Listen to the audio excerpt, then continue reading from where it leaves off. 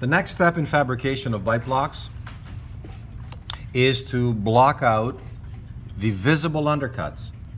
And just as we mentioned before, you want to block out just enough. If you create excessive block out here, it will create uh, a very loose fit of the base plate up against the tissue, maxilla or the mandible, and makes it very difficult to achieve proper relations with your client or maxillomandibular relations. So we're going to take a little bit of wax here. If you have a hard time seeing it, you can outline just by kind of holding your pencil at an angle. Most of the undercuts, or at least visible undercuts, they're around the, the labial vestibule here. So between the outer edge of the ridge and down here somewhere. So we can block that out. Sometimes you might have areas where you had something, maybe a recent extraction, like this area here. You can block that out very gently as well. Any fine fissures inside the palate or around the rugae, we're gonna block those out, although very minimally, not a lot, just very little. Okay, what other areas we can identify here that we need to identify? Right now, just for the fabrication of the base plate. Well, certainly this buccal frenum. Also this labial frenum and as well as the other side. So we want to make sure when we fabricate our base plate that we don't overextend it over those frenums because it will have an effect how the bite blocks fit in the patient's mouth. So I'm going to start by applying some base plate wax. You can certainly use blockout wax, but I think for the most part base plate wax works very good. And these models are fairly dry. It makes it more challenging to apply blockout wax, whether you're using actual blockout wax or base plate wax, to models that are that are damp or moist. So I'm going to go back now with the other side of my number seven spatula and I want to make sure that I gently scrape away because I don't want to alter the surface of this model. This is my master model. Any alterations to this model will alter the fit of the final prosthesis. And for that reason, the tip of my spatula is fairly dull. It doesn't have a needle point to it. So I don't want to be scraping my model as my tip approaches the surface of the cast. So at some point, if you're using a number a new number seven spatula, you might want to round off the tip a little bit. Unless you're using that number seven for carving wax with your wax ups. So generally speaking, I have two of them. I have one number seven for general use, and I have one with a fine point that I use for wax ups. It's a little bit different. So I'm going to continue to the other side. And notice I'm holding the model in such way that I have control of my wax.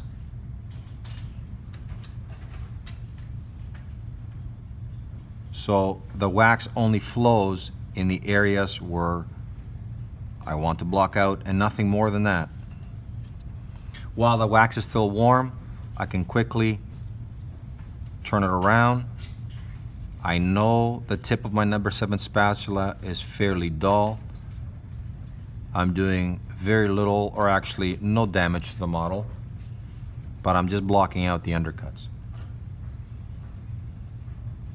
So if you have trouble seeing where you need to block out, you can certainly outline it with a little bit of pencil, and I think things become a little more evident where you need to flow wax. A little bit over the rugae area here.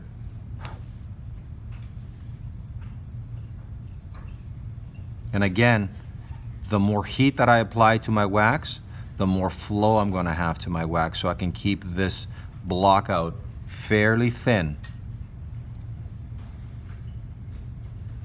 A little bit over the incisor papilla.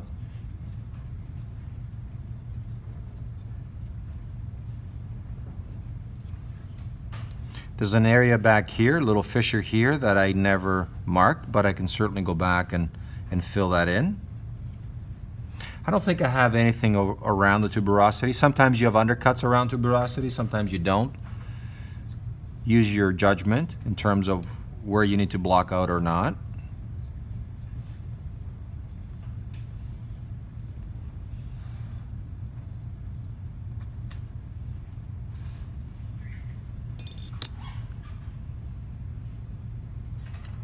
So I think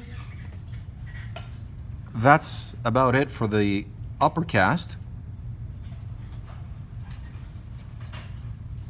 I'm going to bring the lower one over and we're going to identify and go through the same process.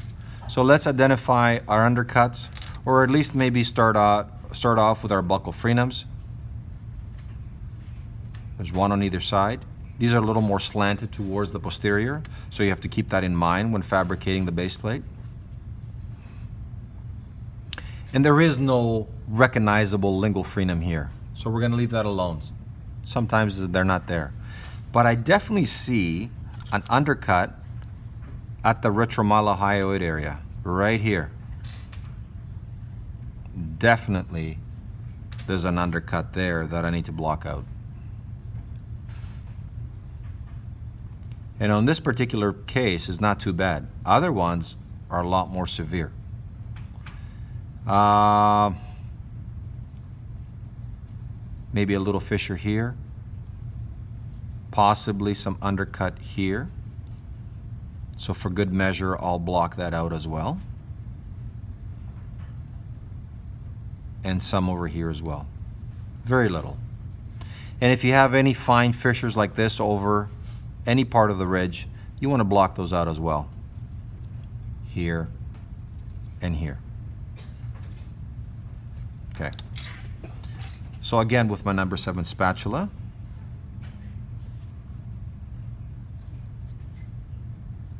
so control the consistency and the flow of your wax.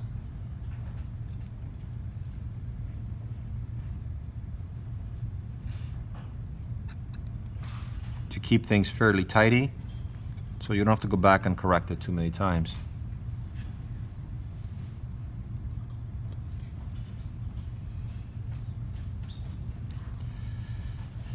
I'm going to go here and apply some at this labial undercut right here.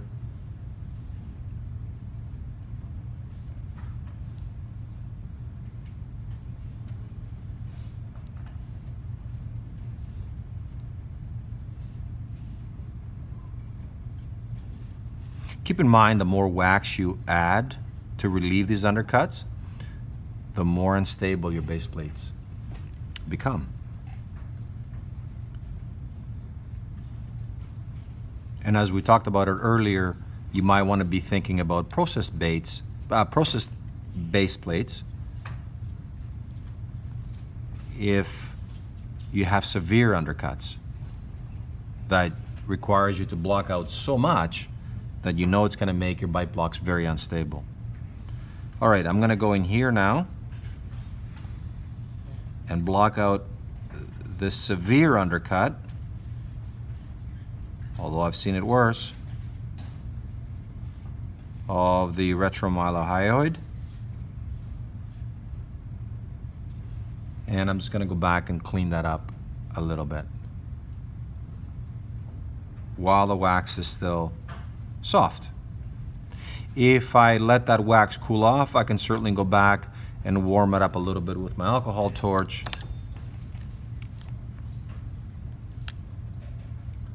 And then carve it back some more.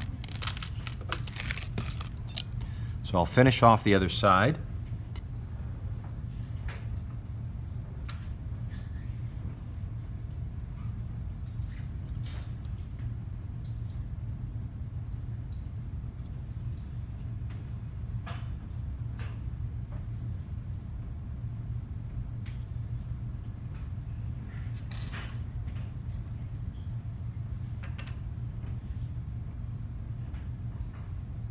This one is a little more severe than the left side, so I'm going to use a little more wax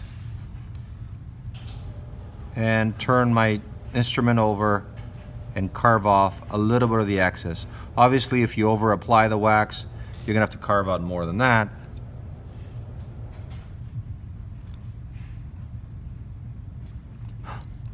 But I think that should do it. And just as a final measure, take your alcohol torch,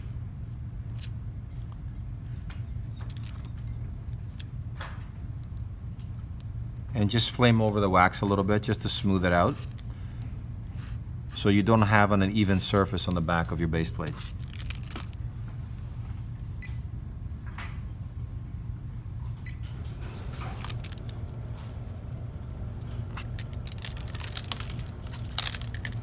So a little more here.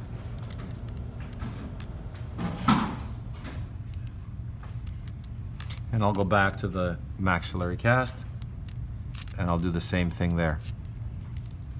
You can certainly do this at any time. You don't have to do it all the way in the end.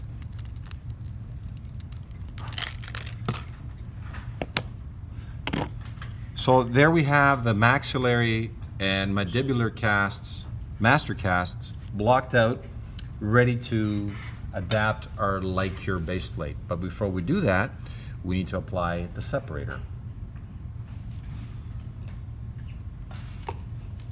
So make sure that your separator is at the right consistency.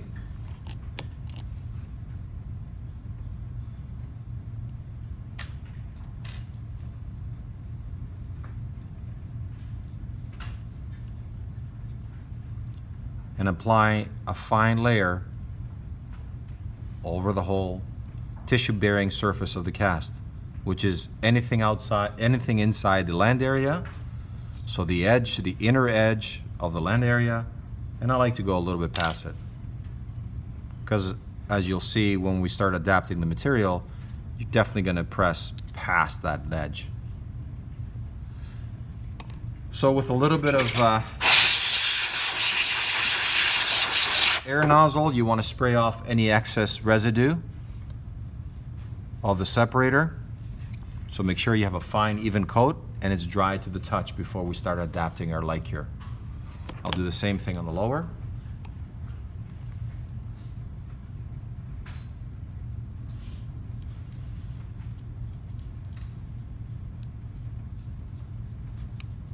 Obviously, I'm not going to be adapting material here, but I know it's going to contact there, so I want to make sure that it's fairly separated to be able to peel it off with very little or no resistance. And make sure we go all the way through and all the way around. So I'm just gonna air spray that.